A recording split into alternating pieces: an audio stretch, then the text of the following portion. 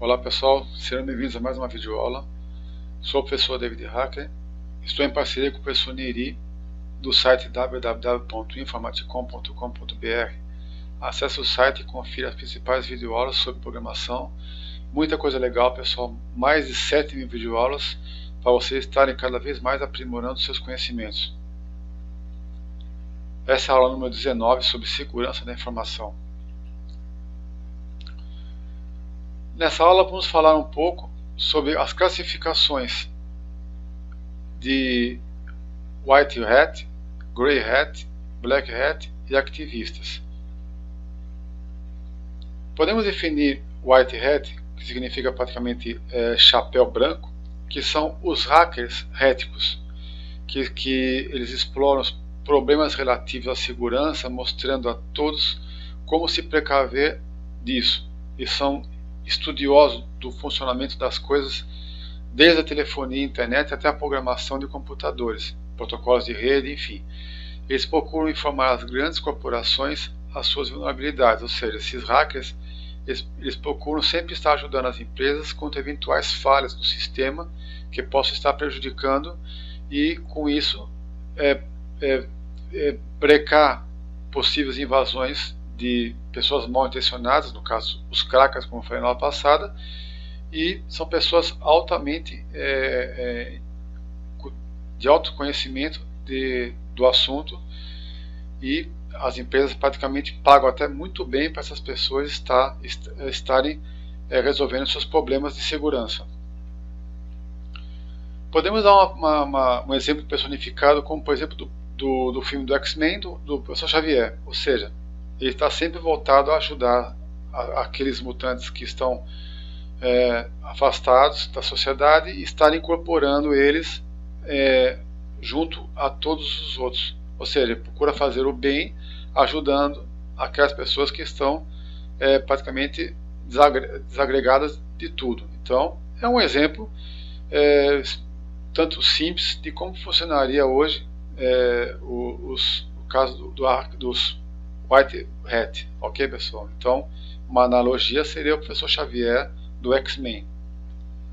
O Grey Hat, ele não se incomoda de ir para o lado black ou não. Ou seja, ele pode ser hacker ou pode ser cracker. Ele usa de técnicas duvidosas para alcançar é, o seu objetivo mais rapidamente. Alguns exemplos de prática seriam os, os spams na caixa de e-mail e comentários em blogs com a finalidade de agregar que não tem nenhum conteúdo praticamente, né?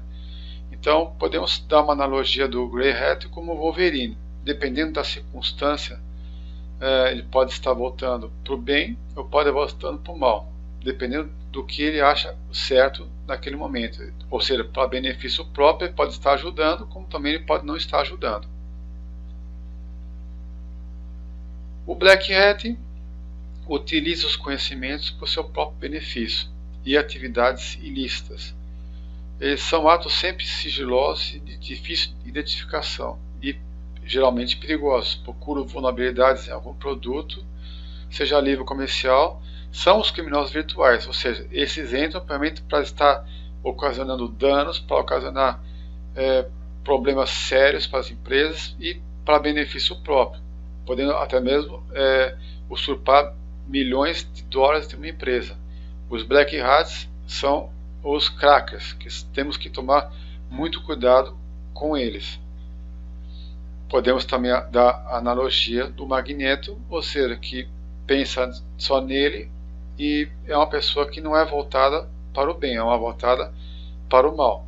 Se é que se pode dizer assim, porque afinal de contas ele está somente pensando é, no benefício próprio.